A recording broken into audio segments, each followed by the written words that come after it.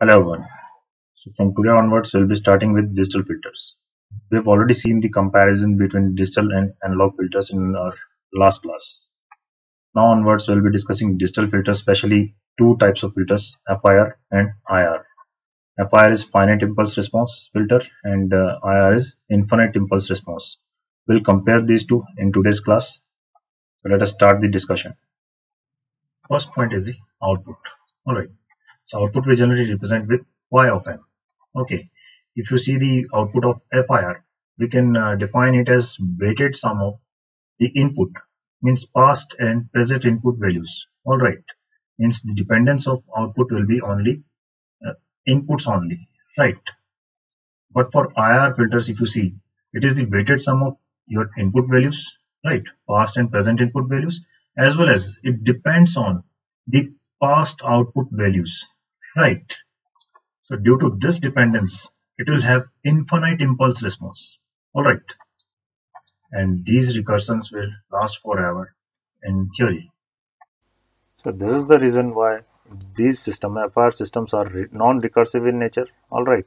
But for IIR filters, it will be recursive type system, all right?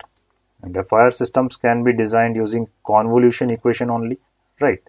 But we'll have to use difference equation to model or design these filters, IIR filters, okay? All right, next thing we'll compare is the system function or transfer function, you can say.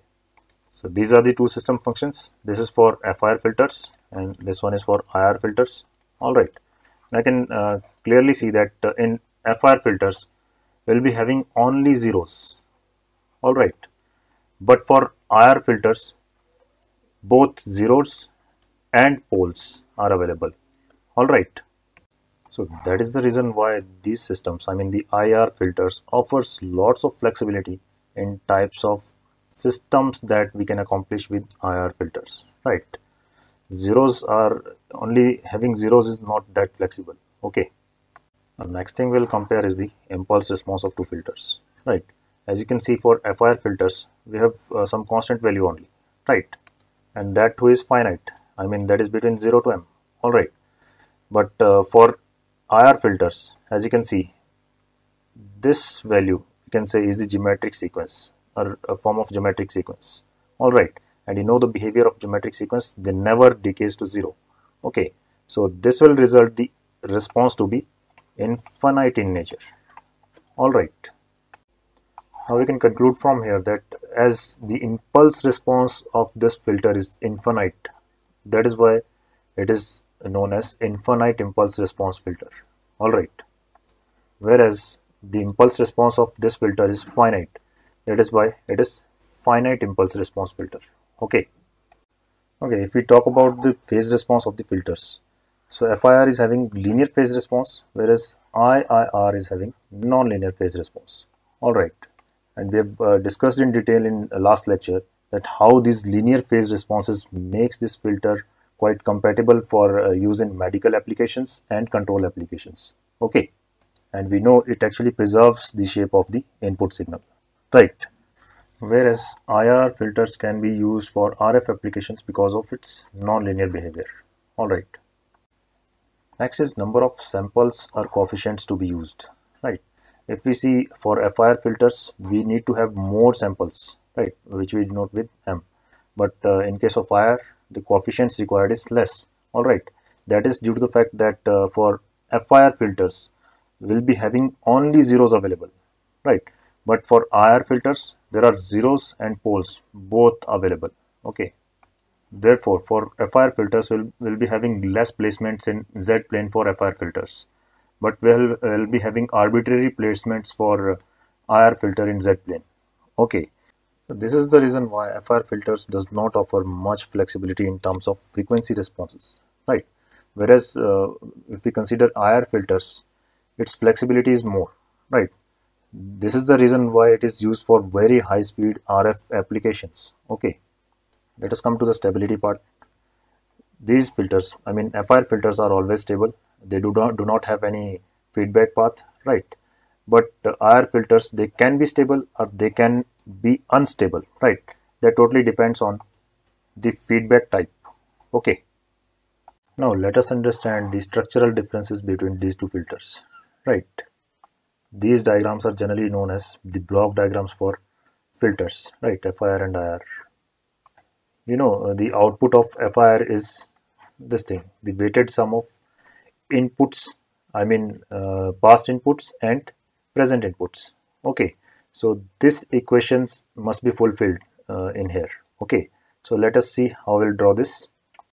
Now we know that uh, m can take value uh, sorry k can take values from 0 to m right? So I'll be varying this uh, from uh, varying the value of k from 0 to m right?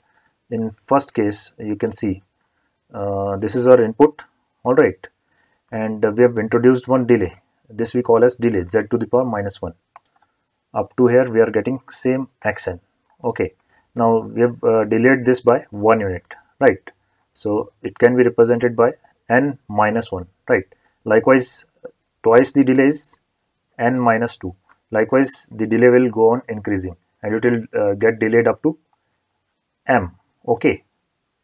And you can see in this equation that each delayed element and xn itself will get multiplied with some coefficient b right bk so for uh, k equal to 0 your xn will get multiplied with b naught right directly.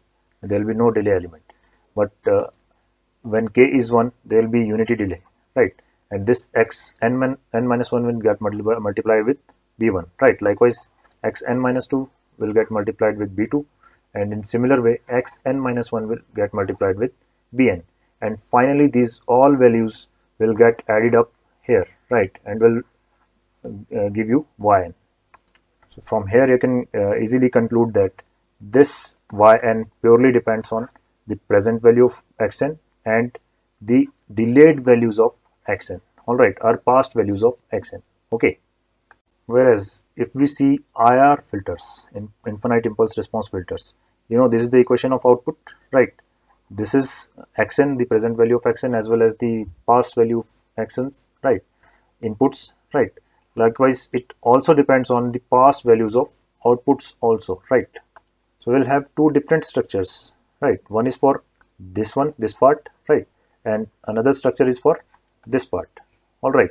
This is for delayed element of y and this is for xn and delayed elements of xn okay the first part uh, i mean this part if you can see that is the same uh, what we were performing for finite impulse response resistors. Okay so this will perform in similar way. This will be done in similar way right? You have to uh, produce delays unity delays right? So this will uh, get x n minus 1 and it will get multiplied with b1 likewise from here xn will get multiplied with b naught directly. This way uh, xn minus 2 will get multiplied with b2 and xn minus m will get multiplied with bm okay and will get added up at one place. Okay. If you consider the second part of this equation that is delayed version of yn. So here it is yn the output. Okay and this output depends on this thing right? So we'll delay this yn right? It's a sort of feedback type structure you can see. Okay so yn is delayed by one unit and you can see yn minus 1 right? The one unit delayed, delayed version of yn and it will get multiplied with minus of a1 right? Because minus is coming in front. So this will become a1 and it will uh, multiply with minus also. Okay. This way we can uh, introduce more delays like uh, twice delay uh, two times delay we have introduced. Okay. And we'll multiply with minus a2 and it will go up to n. So n times delay right? And it will multiply with minus n and will get it get added up in this place right? And what we get at this place and this place that is the same equation. This summation and here we get this summation. And finally these two will get added up right? And will result yn at this place. Okay so you can see the difference between structures. All right. We'll discuss these filters in details one by one right? Till then thank you and have a good day